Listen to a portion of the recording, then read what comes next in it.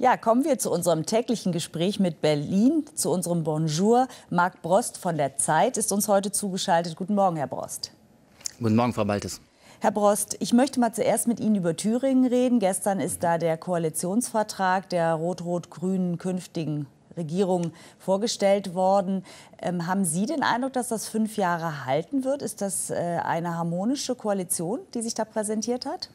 Naja, spannend ist ja immer noch, ob diese Regierung, die gestern sozusagen ihr Startprogramm vorgelegt hat, ihren Koalitionsvertrag, ob die überhaupt starten wird. Ähm, es gibt ja immer noch die Abstimmung, die Wahl zum Ministerpräsidenten, die wird am 5. Dezember stattfinden. Bis dahin gibt es noch zwei kleinere Hürden. Ähm, zwei der drei Koalitionspartner werden nochmal ihre Mitglieder über diesen Koalitionsvertrag befragen. Da gehen wir mal davon aus, dass es eine Mehrheit gibt.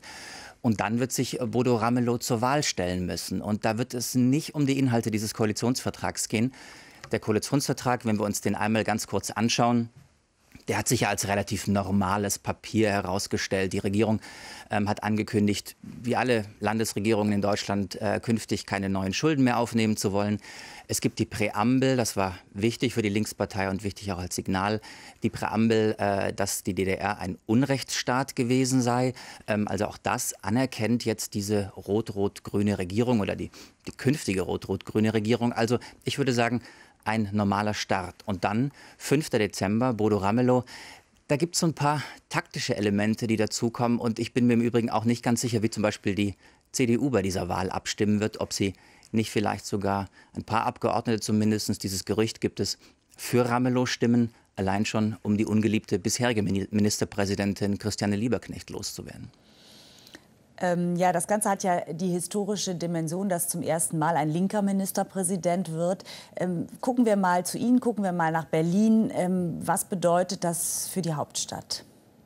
Na gut, es ist äh, völlig klar, das Rennen für 2017 ist absolut offen. Für 2017, für die Bundestagswahl 2017 gibt es tatsächlich alle Optionen. Erinnern wir uns, ähm, auch im Bundestag jetzt gibt es rein rechnerisch schon eine rot-rot-grüne Mehrheit. Die wurde nicht realisiert, weil sie als absolut unglaubwürdig und auch unmöglich gilt, aufgrund auch der bundespolitischen Differenzen zwischen SPD und Linkspartei. Jetzt startet oder wird wahrscheinlich eine rot-rot-grüne Landesregierung starten.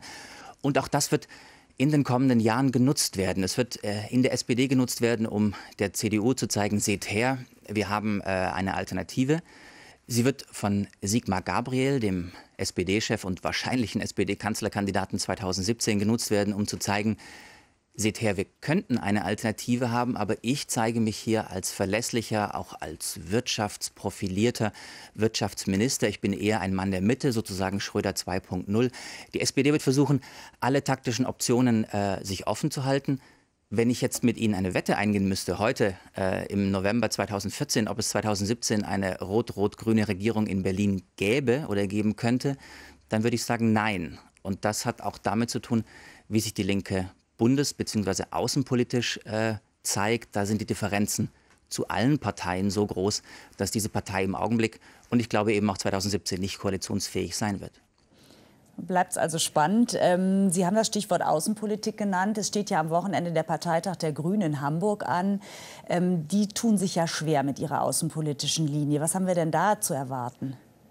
Es wird ja am Sonntag äh, beim Grünen Parteitag über Außenpolitik geredet und es gibt die ganze Palette an äh, Vorschlägen und auch die ganze Palette des möglichen Streits. Erinnern wir uns, es gab die Debatte über Waffenlieferungen an die Peschmerga, äh, um dort eben im Kampf gegen die IS im Irak und an der Außengrenze ähm, des Irak zur Türkei hin zu helfen. Ähm, es gab Befürworter äh, für Waffenlieferungen in der Partei, aber auch vehemente Gegner dieser Waffenlieferungen. Und dann kam vor einigen Wochen die grüne Parteivorsitzende, die grüne Fraktionsvorsitzende Katrin Göring-Eckardt mit dem Vorschlag, ja, man sei sogar bereit, Bodentruppen äh, im Irak zu unterstützen unter einem äh, Mandat der Vereinten Nationen, unter einem UN-Mandat. Das hat in der Partei für wahnsinnigen Aufruhr gesorgt. Und in dieser ganzen Bandbreite wird am Sonntag diskutiert werden. Ähm, das ist interessant, das ist spannend, das wird für die Partei eine Zerreißprobe, womöglich ähnlich wie damals über den Kosovo-Einsatz diskutiert werden musste, als die Grünen gerade ganz frisch in die rot-grüne Regierung unter ähm, Gerhard Schröder gekommen waren und man eben äh, Soldaten ins ehemalige Jugoslawien schicken musste. Aber ich würde den Grünen an dieser Stelle eines zugute halten. Sie sind im Augenblick die einzige Partei, die über dieses Thema tatsächlich diskutiert. Äh, aus den anderen Parteien, vor allem eben auch aus dem Regierungslager, ist da absolute Stille. Ja, Marc Brost war das von der Zeit mit einem kleinen Ausblick auf den Parteitag der Grünen in Hamburg, der ansteht. Herzlichen Dank nach Berlin. Bitte.